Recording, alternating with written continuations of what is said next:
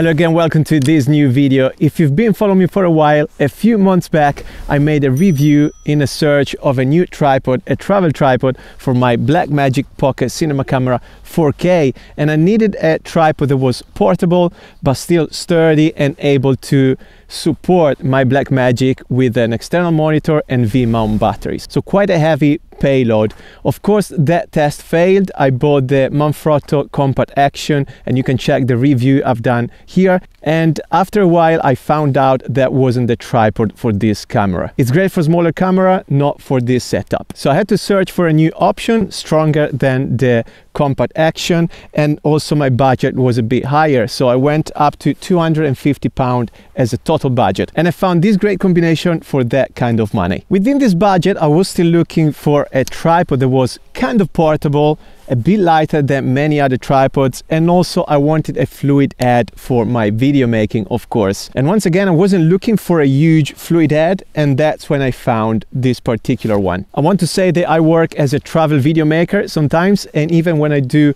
normal video making jobs I'm usually commuting a lot so I'm traveling through transport public transports trains, buses, and so on. Everything I have needs to be portable, quite light, but still uh, allowing me to achieve the greatest shots. I'm gonna break down this specific setup and I'm starting by reviewing the tripod. This is the MT190X3. There are different versions on the Manfrotto website, also on Amazon, and I found this one that was perfect for me. A lot of different features and perfect in terms of weight and size.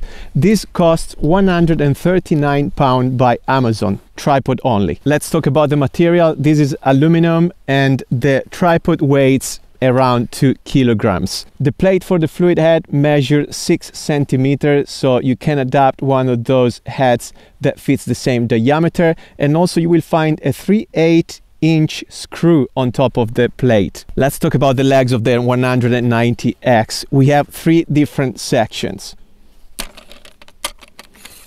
There you go. One, two, and three. Bear in mind, a three section legs tripod makes your tripod less portable but stronger and sturdier compared to a five sections legs, for example, like the compact action I'm using in front of me right now. I love these legs are very strong. They don't bend at all. Once again, compared to the compact action, very simple to open up through the locks. You only have two locks, one and two, and then you just slide them down. I love how the tubes run smoothly. In one second, you have your tripod open or closed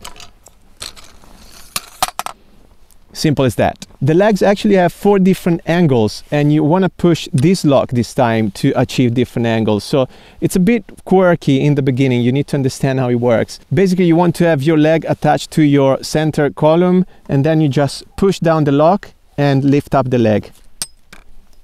And that's your first angle. Then you want to do the same, push down and up, second angle, and once again, and third, and you've got one more, and fourth. So it kind of reaches a 90 degrees to get really low angle shots. And then simple as that, you unlock it again and you just go all the way down to close your tripod. On a couple of legs here, you will find two rubber handles these are actually very useful in particular in snow days like this. I filmed another review last week as it was snowing and these two handles saved my hands from the cold. So the aluminum is very cold but the rubber handles are actually very comfortable and quite warm to be honest. Also around one of the legs you will find an hex key to open up your locks and also replace your locks Let's talk about the dimensions of this tripod. When it's completely closed like this, the tripod measures, the length measures 59 centimeters. When you fully extend your legs, Without the head, the tripod will reach the height of 135 centimeters. This now at 135 centimeters. Also, when you lift the central column, you can reach 160 centimeters. I'm 180 centimeters. So whenever you put the camera on top, you will be able to reach the tallest people out there even for interviews, for example. One of the features I love of this tripod is that it can reach actually nine centimeters from the floor. So what you want to do is very simple. You just take the central column off and it just comes off very easily there you go. You replace it with this mount with this plate which is actually underneath the central column. You replace it lock it in place and now what you have to do is just to close the legs and open up all the legs at 90 degrees more or less and you will reach the floor but there you go that's your spider tripod and literally is nine centimeters off the floor and we got also extra features like a hook here to hang for example sandbags or weights to add extra weights and to keep the tripod down towards the floor. We have a side hole. If you have an extra arm, you can attach your camera even sideways or facing down. The safety payload recommended by Manfrotto for the 190X3 is 7 kilos as it is. The only downside I actually found for this tripod is that it doesn't come with the bag, with the carry bag. For the price of 139 pound, well, I would have included at least a simple bag. Okay, let's now talk about the fluid head. As I said, this is the MHX Pro 2W fluid head for video making. I was looking for a smooth fluid head for my videos and I found this great option.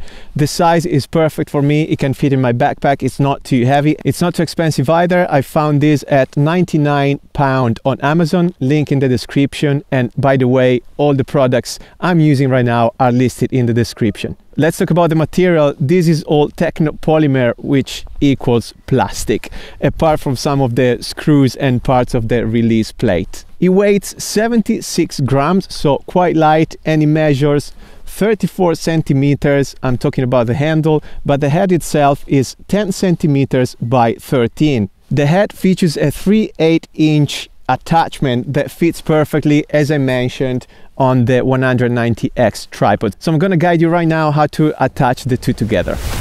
Very simple, guys. The two mount matches, so the screw matches here.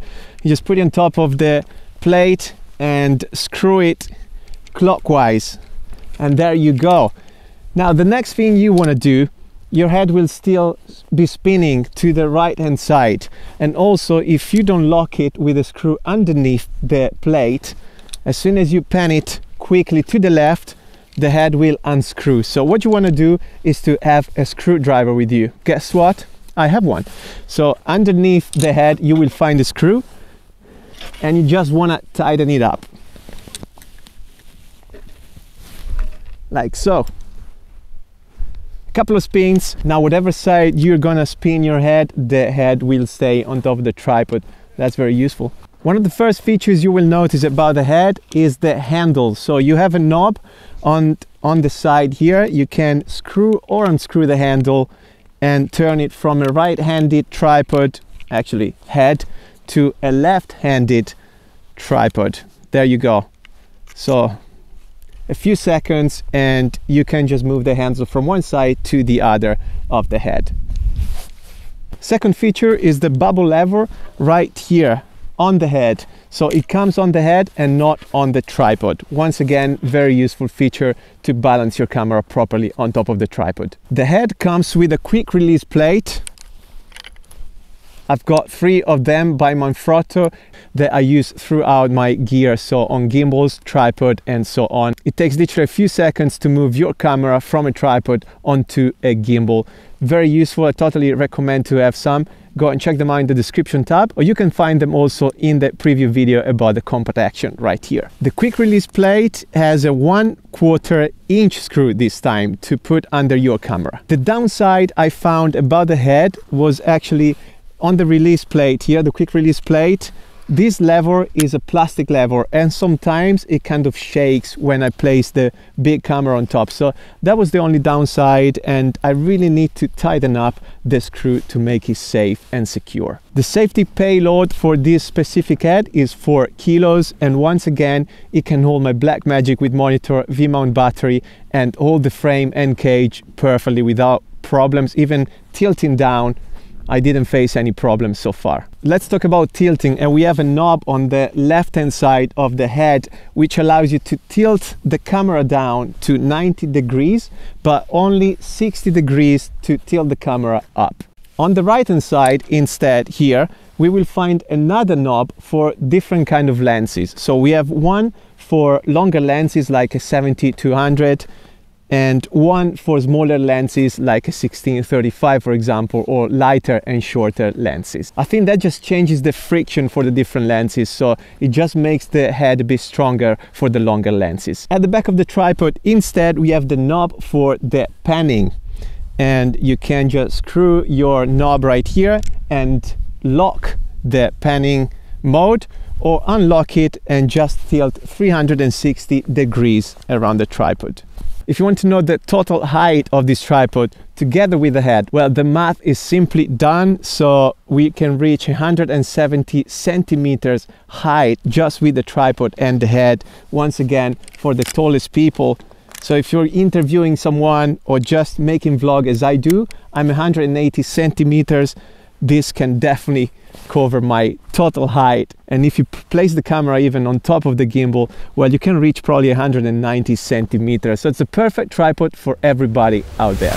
Final comments. Well as you've seen at the beginning through the test i think the head actually is very smooth so i definitely recommend it for travel photographers travel video makers as i am that need a portable tripod a portable head not heavy gear but still able to capture the best shots. With this tripod stay ashore you'll be able to grab the best and professional looking shots. I recommend it to people using dslrs mirrorless cameras but also small and bigger cinema cameras like the one I'm using, but even maybe for the Blackmagic Ursa and that kind of payloads. I still consider it as a travel tripod in terms that you can you can walk with this tripod, but but I wouldn't do hikes, very long hikes, because at the end of the day, it's quite a heavy kit, in particular if you're traveling also with a drone and extra tools like that. But if you're commuting as I do, or if you are spending sometimes on, on transports, well, then I recommend it. You can fit it on the side of your backpack as I'm showing you here, but bear in mind that this tripod, even without the head, will not fit in a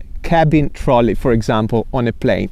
So you want to put this in a bigger suitcase. Also, I tested the 190X3 with a slider by Retric, and you can check that review right here, which was very interesting. Very nice piece of kit as well. Go check it out and it worked perfectly even with the slider. Also because you can reach different heights, so you can literally film at floor levels or 190 centimeters as well. Once again, I have to say goodbye. I hope you enjoyed the review. I hope it was helpful in understanding if this is the tripod for you. And if it helped you somehow, consider to subscribe, hit the like button and share the content with your content creators friends. I can't wait to see you in the next video. God bless you. Thanks for watching.